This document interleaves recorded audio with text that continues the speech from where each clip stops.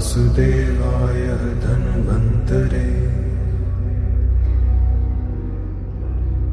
अमृतकलशहस्तये